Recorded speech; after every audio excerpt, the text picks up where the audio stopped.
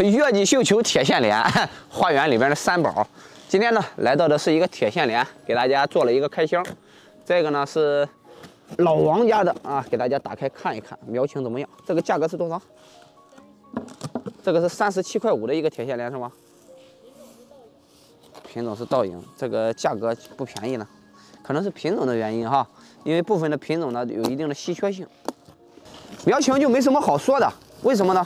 因为现在这个季节的玉这种铁线莲，它就这个样子喽，它就是这个样子，没什么好说的。摸了摸粗细的一个程度，啊，性性价比可能是稍微有点低，但是呢，这个品种它不一样，因为很多的东西呢，它是根据品种来的，品种越稀缺呢，它会越贵一些。按照三十七块五的一个价格呢，它并不算贵。好。咱们接着打开，打开以后呢，看一下，呀呀呀呀呀！你看，我跟花友们说过，我说你们在用土的时候，你尽量的选择这种泥炭土。你可以看，稍微上点档次的这种园艺大棚，它都在用这种土。收到手第一后哈，收到手第一步，大家不论是买到任何花，第一步就检查这个盆土。你要检查盆土的时候怎么检查呢？这样往外扒一扒，往外扒一扒，往外扒一扒，露出来表面的根系为止啊！不论是任何时候养任何花，你可以看到吗？你看我挖完以后，这是原本的一个土，对不对？它就是种的太深了。你如果说咱们上面把这种土糊上去，它会导致一个闷根。就是不论是大家买到谁们家的花，我们家的有可能也会出现这种情况。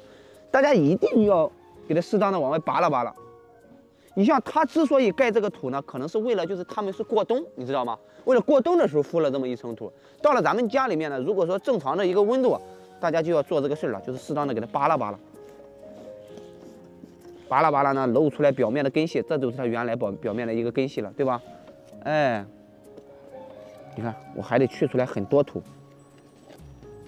接下来呢，把这个杂草处理处理，别让它在这浪费营养了。我丢，你看这个，你看人家这个杂草的根哈，长得是真壮。你养花养不好，这个草，这个叫什么来着？有心插花花不活是吧？无心插柳柳成荫是那个是吧？你看这个这个这个杂草太旺了。我先把我先除一下草哈，简单的除一下草。大家这么扒的时候，千万小心点，不要把这种笋枝给碰断了，好吧？未来这一根长得会比这一根长得更旺。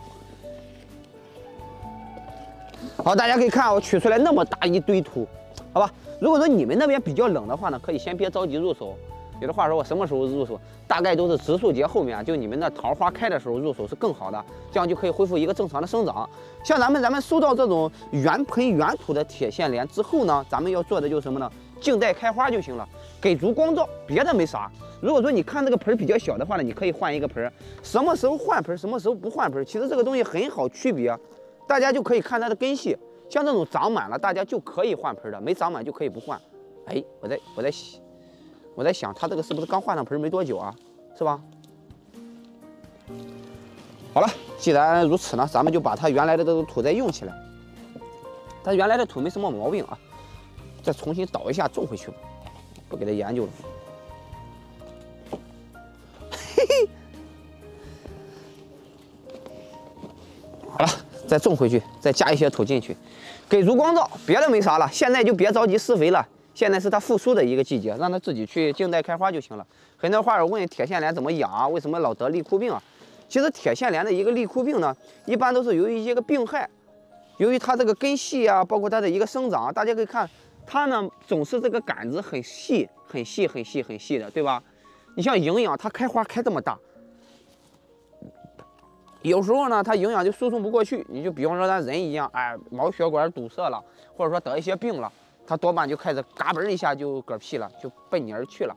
所以说呢，像这种过过一次冬的这个呢，都没什么问题，好吧？基本上它不会立马得立枯病，一般呢都是立枯病都是出现在这种小苗子上面比较多。所以说好好多花友呢，你们在买花的时候，现在这个季节买花并不是一个坏事，因为都是从冬天过来的。你像现在这种状态就这样，有的花友说嫌这个状态不好，这了那了的，这个不存在。要我说哈。这个就不要了，你知道吗？它有一个笋枝，你要这玩意儿干啥呀？不要，不要。好了，接下来呢，给足光子。